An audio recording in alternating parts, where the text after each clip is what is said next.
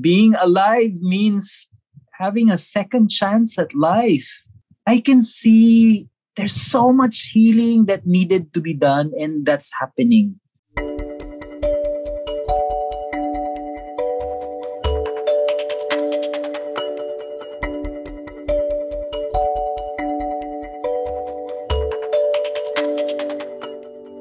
Normally, you know, I just work, I go on with my life, but this was excruciating pain, and that led me to really go to the hospital. It takes a lot for me to go to the hospital. So, right before Christmas and right before my birthday, which was December 21st, excruciating pain because of my cancer, which was diagnosed around seven years ago.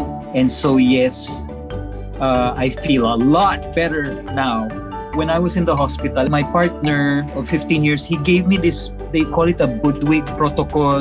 He made something, no? It's just a little bowl from excruciating pain. And then I slept, and then parang I had a near death experience. I had a dream. And then he gave me that bowl the day before.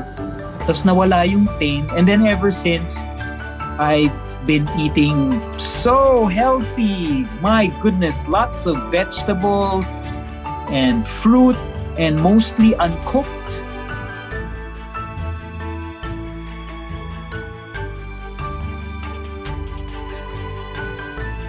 So I really, really recommend the diet I'm on, which is lots of fruits and vegetables, which is actually what, you know, our parents and our teachers always used to tell us, but we never, you know, we were all, I was living on hot dog and bacon and lasagna. We have a notion that healthy food does not taste good. I'm so grateful to my partner who is a chef. He prepares it. It tastes amazing. My partner, Jetro Rafael, believes in good salt, which is Himalayan salt. There, it's healthy it's not bad for the body, not like iodized salt. And then instead of sugar, we have raw honey. Uh, a lot of times I remember I'll eat it and I'm like, oh my gosh, this tastes like, you know, Thai or Bali. And then the next meal is like, oh my God, um, this, this tastes like Ukrainian or something. Or So, syempre, I eat so much. But I'll tell you, the ingredients actually are not expensive. So he, he taught me how to prepare also.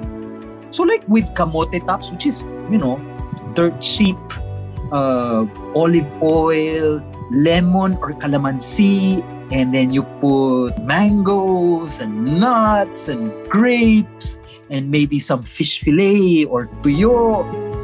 Mmm, sarap. Ever since the hospital, there's been a lot of healing in my life healing of relationships, cleaning my room, which is part of healing, my body. The best thing about my Budwig diet is, well, first of all, I'm alive. you can't beat that, right?